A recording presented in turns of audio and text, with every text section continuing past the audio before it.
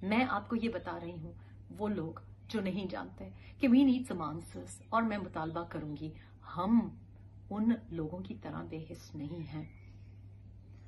जिनको ये समझ नहीं आती कि जब आपके घर में मौत होती है फौतगी होती है तो आप गाना, डांस बजाते नहीं हैं, आप एक्सरसाइज पे नहीं निकल जाते, आप गलियात नहीं पहुँच जाते, आप अच्छी ठंडी आबो हवा को एंजॉय नहीं करते, जो फादर होता है मदर होता है एक हाउस होल्ड का ना, जो हेड ऑफ़ द फैमिली होता है head of the household होता है, वो रिस्पॉन्सिबल होता है, वो जिम्मेदार होता है। और जो प्राइम मिनिस्टर होता है और जो चीफ मिनिस्टर होता है, जो लीडर होता है, वो वो हेड ऑफ़ द फैमिली की तरह होता है। अगर वो आपको अपनी फैमिली समझे तो आपके घर में, आपकी फैमिली में खाना है कि नहीं है, पानी है कि नहीं है, कोई जख्मी हुआ है कि नहीं है, उसका इलाज मुआवजा है कि नहीं है डेथ हो गई है तो उसको किस तरह से दफनाना है? ये हमारा कल्चर है, ये दुनिया जहान का कल्चर है। आप कहीं नहीं जाते जब तक कफन दफन नहीं होता।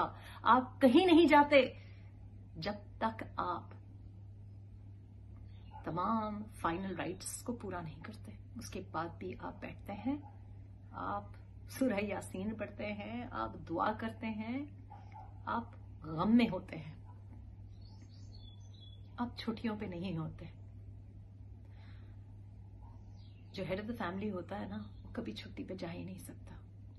आज मैंने इस माँ की आवाज़ सुनी literally I I I could not take it फिर मुझे इस आदमी का वीडियो मेरे दोस्त ने भेजा।